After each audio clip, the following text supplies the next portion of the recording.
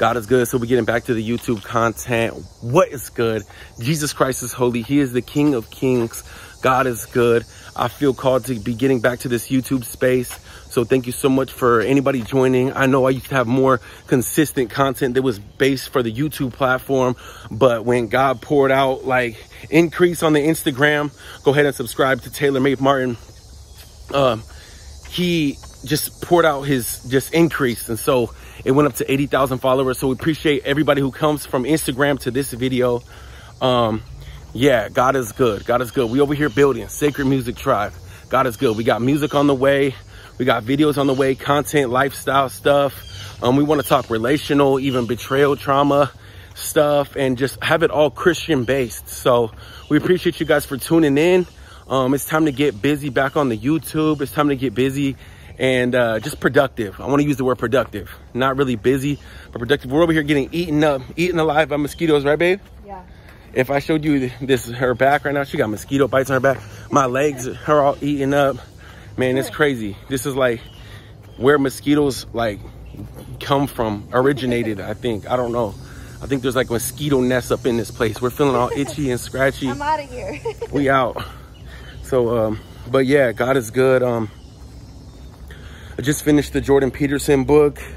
Um, we got a baby on the way due in December.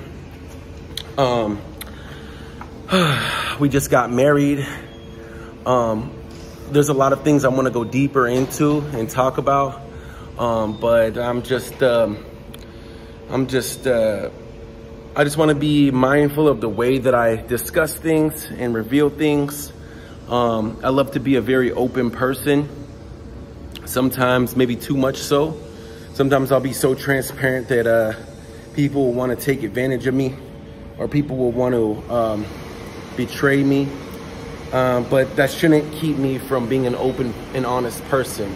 Yeah, that's what I've found um, so far in my 33 years of life.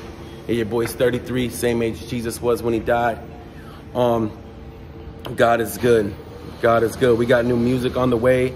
Stephanie's uh, song Same God just came out. That's her first uh, record that is hers um, from her um, portfolio. So you guys should go check that out. That's called Same God. Um, it's on all digital platforms. We're in the midst of uh, shooting the music video. Um, it's a worship song. Um, I spit a few bars on there as well.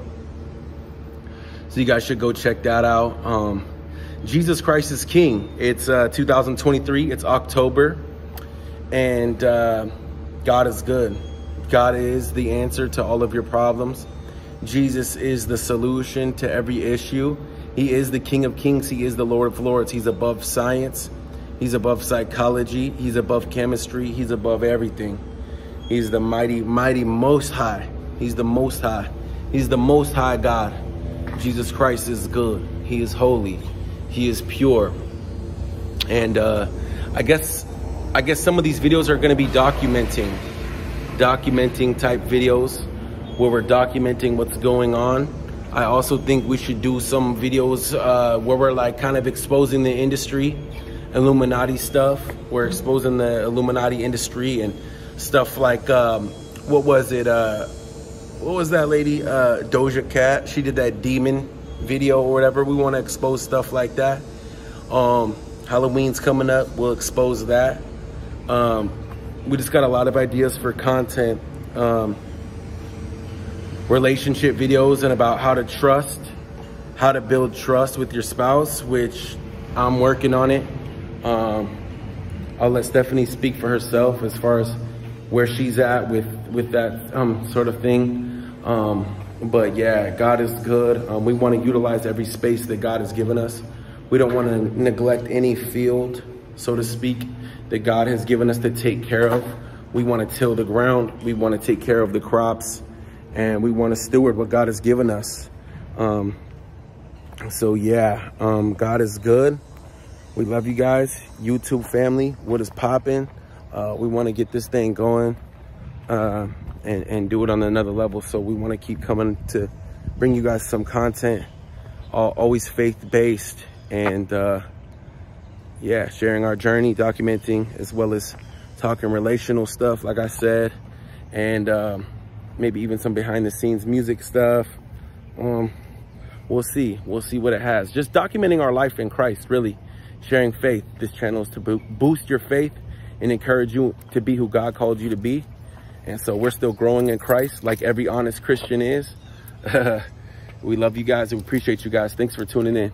Shalom.